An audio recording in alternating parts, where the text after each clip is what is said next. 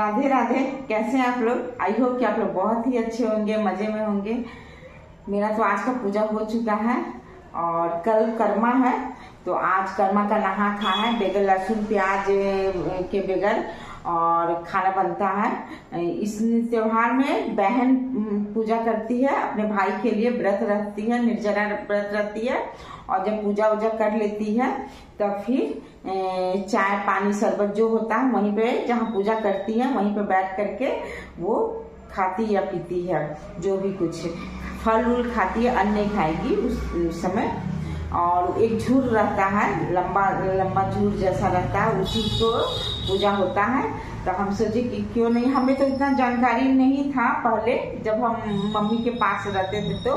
लेकिन शादी होकर के जैसे हम यहाँ आए तो हमको तब नॉलेज हुआ, क्योंकि यहाँ का लोग ये कर्मा पूजा करता है।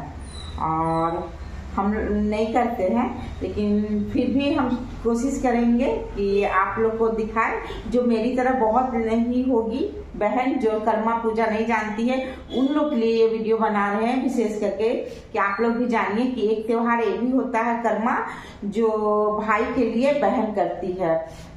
कुआरी कितनी भी छोटी बच्ची भी हो, वो भी कर सकती है, शादीशुदा भी करती है। मतलब ये बहन भाई का अटूट प्यार का ये त्योहार है।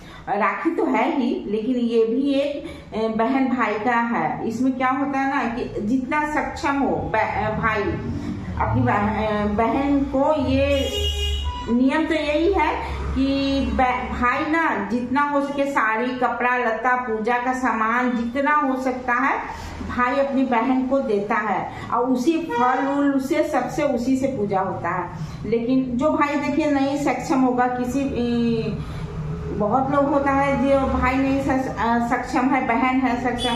तो ऐसा नहीं है कि भाई ही दे।